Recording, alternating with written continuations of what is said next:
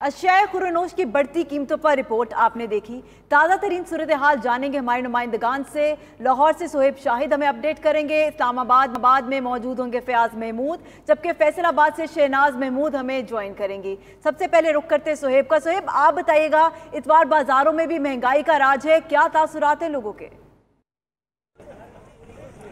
جی بالکل، اگر مہنگائی کی بات کی جائے تو روز بروز مہنگائی کے اندر اضافہ ہو رہا ہے۔ اشیاء خرونوش جو لوگوں نے استعمال کرنی ہوتی ہے، سبزیاں، پھل ہو گئے، دالیں ہو گئی مرغی کا گوشت ہو گیا، ان کی قیمتوں میں آئی روز اضافہ ہو رہا ہے۔ جس طرح دن طرح دن گزرتے جا رہے ہیں، ویسے ویسے قیمتوں میں اضافہ ہو رہا ہے۔ اگر ہم صرف پچھلے ہفتے کی بات کریں، پچھلے اتوار بازار میں ٹماٹر کی قیمت جو ہے وہ چالیس روپے فی کلو کے حساب سے تھی اور اب سات دنوں کے اندر ٹماٹر کی قیمت میں سو فیصد اضافے کے بعد اسی روپے فی کلو کے حساب سے۔ جبکہ باہر اگر بات کریں بعض دکاندار جو ہیں وہ سو روپے فی کلو کے حساب سے ٹماٹر بیچ رہے ہیں۔ اسی طرح اگر کریلے کی بات کریں تو اس کی قیمت میں پچیس سے تیس روپے اضافہ ایک ہفتے کے اندر ہوا ہے۔ اگر پیاز کی بات کریں تو اس کے اندر بیس روپے تک اضافہ فی کلو کے حساب سے ہوا ہے۔ جبکہ اگر ہم دوسری سبزیوں کی بات کریں تو یہاں پر ہر سبزی میں تقریباً دس سے بیس روپے فی کلو کے حساب سے اضافہ ہوا ہے۔ اگر ادرک کی بات کریں تو اس میں پچیس روپے فی کلو کے اضافے کے حساب سے دو سو ساٹھ روپے فی کلو کے حساب سے بک رہا ہے۔ اتوار بازار میں لوگ ریلیف لینے کے لیے آتے ہیں کہ ہر ہفتے بعد ہم اتوار بازار جائیں وہاں پر جا کے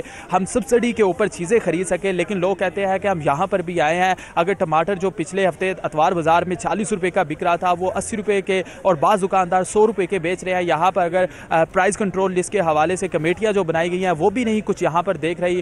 ہر کوئی اپنی منمانی سے بیچ رہا ہے۔ جب ہم انہیں بتاتے ہیں کہ گورنمنٹ کی طرف سے یہ لسٹ لگائی گئی ہے، تو آگے سے بحث کی جاتی ہے۔ بعض لوگ مان جاتے ہیں، لیکن جب تک انہیں بتایا نہ جائے، وہ اپنی مرضی کی قیمتوں کے اوپر یہاں پر چیزیں جو ہے وہ فروخت کر رہے ہیں۔ جبکہ لوگوں کا یہ بھی کہنا ہے کہ اگر یہاں پر ریلیف لینے آتے ہیں، جن چیزوں کے اوپر ہمیں ریلیف مل رہا ہوتا ہے، ان چیزوں کی کوالٹی اتنی بری ہوتی ہے کہ وہ چیزیں خریدنے کے قابل نہیں ہوتی۔ لیکن ان کا یہی کہا جاتا ہے کہ ان چیزوں کے اوپر آپ کو ریلیف مل رہا ہے، ان کی کوالٹی اچھی نہیں ہے۔ اور جن کے اوپر ریلیف نہیں مل رہا، ان کی کوالٹی قدرے بہتر ہے۔ لیکن ان کا کہنا ہے کہ اتوار بازار کا جو مقصد ہوتا ہے کہ لوگ یہاں پر ہفتے بعد آئے اور سبسڈی کے اوپر چیزیں یہاں سے خرید کر لے کر جائے، حکومت کی طرف سے یہاں پر انہیں ریلیف دیا جائے، وہ ہمیں یہاں پر ریلیف ملتا نہیں نظر آ رہا قیمتوں میں بے تحاشا اضافہ ہو رہا ہے آئے روز مہنگائی ہو رہی ہے بجٹ ہمارا گھر کا اتنا ہی ہے۔ جہاں پر پندرہ سے بیس ہزار روپے کے اندر ہمارے گھر کا خرچہ چلتا تھا۔ اب وہ خرچہ جو ہے وہ تیس سے چالیس ہزار روپے تک چلا گیا ہے لیکن ہماری سورس آف انکم جو ہے حال سہیب ہمیں بتا رہے ہیں۔ رک کر لیتے ہیں اسلام آباد کا جہاں پر فیاض محمود ہمارے ساتھ موجود ہیں۔ فیاض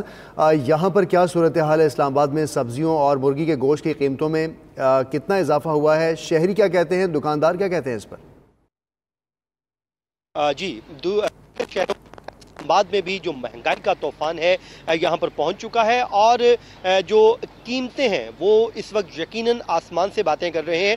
جیسے ہی میں مارکیٹ میں آیا، میں نے آ کر گزشتہ ہفتے ہفتے کی ریٹ لسٹ اور موجودہ جو ریٹ لسٹ ہے، اس کے ساتھ موازنہ کرنے کی کوشش کی تو مجھے معلوم ہوا کہ ہر چیز میں کی قیمتوں میں اضافہ دیکھنے میں آ رہا ہے۔ جو دکاندار ہیں، وہ کہتے ہیں کہ انہیں تو جو اشیاء خورنوش ہیں، وہ پہلے ہی مہنگی مل رہی ہیں، مہنگے داموں مل رہی ہیں، تو اس لیے وہ مہنگے داموں ہی فروخت کر رہے ہیں۔ اب مرغی کی بات کی جائے تو اس وقت تین سو دس روپے فی کلو کے حساب سے یہاں پر یہ مارکیٹ میں دستیاب ہے، جبکہ گزشتہ ہفتے اس کی قیمت میں پندرہ سے بیس روپے کی کمی تھی۔ لیکن جو ٹماٹر ہے اس میں تقریباً تیس روپے کا اضافہ ہوا ہے، جو گزشتہ ہفتے پچاس سے پچپن روپے میں فروخت ہو رہا تھا۔ لیکن ابھی اسی سے پچاسی اور نوے کے درمیان ٹماٹر اس مارکیٹ میں فروخت ہو رہا ہے۔ اسی طرح آلو کی قیمتوں میں بھی اضافہ ہوا ہے جبکہ جو پیاز، جس کو ہر ہنڈیا کا لازمی جز سمجھا جاتا ہے، اس کی قیمت میں بھی اضافہ ہوا ہے۔ یہ اتوار مارکیٹ ہے۔ عام طور پر اسلام آباد کے جو باسی ہیں، وہ اتوار کے روز شاپنگ کرتے ہیں۔ اپنے اشیاء خورنوش ہفتے کی خرید کے رکھ لیتے ہیں۔ لیکن اس وقت تقریباً یہ بارہ بجے کے بعد کا وقت ہو چکا ہے۔ وہ گاہک نہیں ہے۔ دکاندار کہتے ہیں کہ اس طرح گاہک نہیں آ رہے۔ اگر آ بھی رہے تو وہ اتنی کوانٹیٹی میں چیز نہیں لے کر جا رہے جتنی پہلے لے کر جاتے، لے کر جاتے ہیں۔ اور امید اس سے ہے کہ شاید کم ہو جائے۔ تھوڑا سامان لیتے ہیں اور آنے والے دنوں میں دوبارہ لے لیں گے۔ ہو سکتا ہے کہ ان کو کچھ ریلیف مل جائے۔ لیکن جو پھل ہیں، ان کی قیمتوں میں بھی اضافہ ہوا ہے۔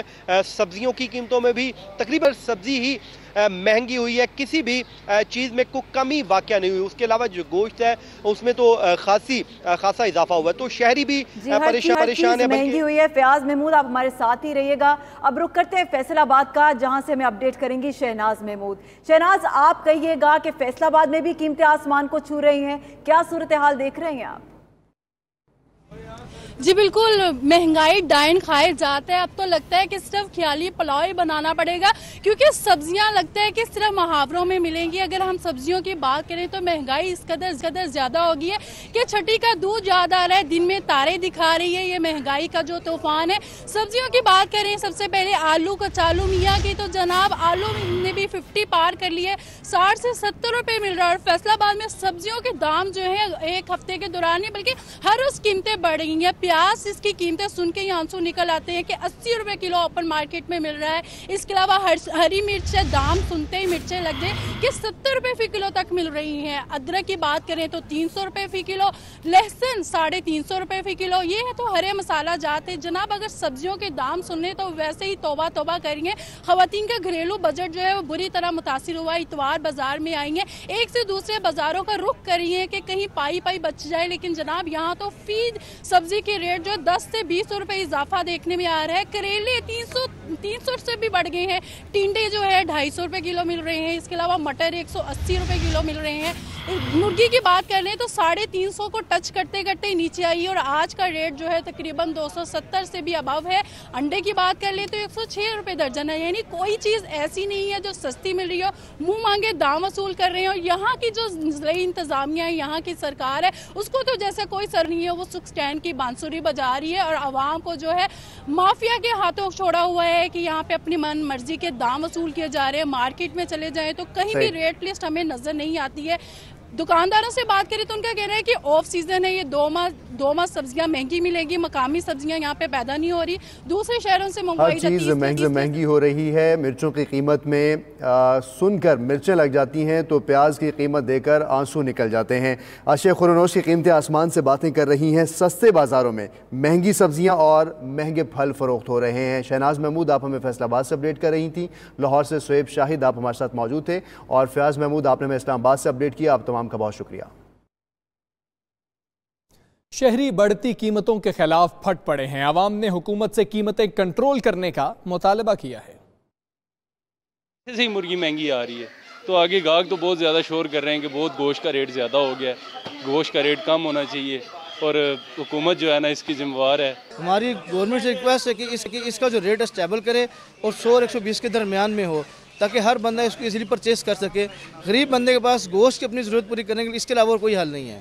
چکن کو جو ہے نا کوئی ریٹ کم ہو جائے تو بہتر ہوگا۔ تاکہ کم از کم پہلی تاریخ کو تو بندہ سرکاری ملازمین کھا سکتے ہیں۔ تو وہ بھی اگر نہیں کھا سکتے تو پھر تو بہت ہی چکن کا۔ ریٹ تو ایسے لگ رہا ہے جیسے آپ گوشت سے بھی اوپر جائے گا۔ اور غریب آدمی کی پہنچ سے بہت اوپر ہے۔